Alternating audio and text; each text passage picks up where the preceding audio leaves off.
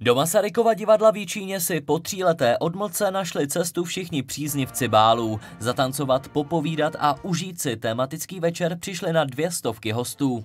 Celý večer byl inspirován a laděn do prostředí školy a vyučování. Letos je Víčně čtvrté výročí čínského gymnázia, tak jsme udělali titul Škola základ života. I výzdoba veškerá tomu odpovídá, na stolech nejsou klasické obrusy, ale školní lavice počmárané různě a tak. Jičínský bál zpříjemnila svými tóny kapela Bylo náspět. S touto kapelou jezdím už vlastně druhou plesovou sezónu.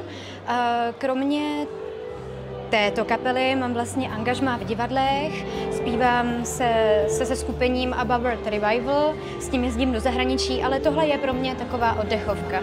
Já jsem se tady narodila, takže jsem chodila vlastně na druhou základní školu hned tady vedle. Odchodila jsem x let do základní umělecké školy Jičín, takže mám opravdu krásné vzpomínky tady.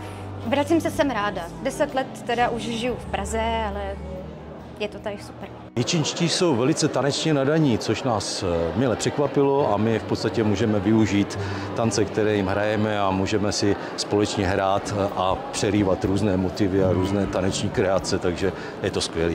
Během večera se mohli návštěvníci zapojit do luštění křížovky. Za její správné vyplnění byly zařazeni do slosování o hodnotné ceny. My si ples užíváme velmi dobře, super akce a křížovka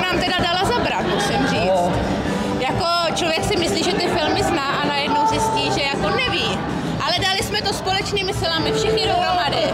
Takže se těšíme na nějakou super výhru. No musím říct, eh, že je nás tady šest a museli jsme všichni dát hlavy dohromady a pozvat ještě strýčka Google.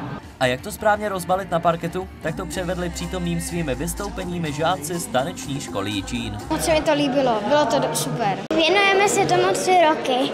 Šek byl takový jakože skvělý. Jo, bylo to dneska dobrý.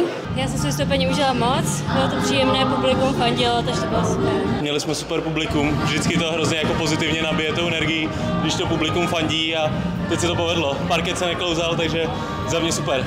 Bál se uskutečnil pod taktovkou kulturního zařízení města Jičína a v letošním roce se jednalo již o osmý ročník. Patrik Andejsek, Televize V1.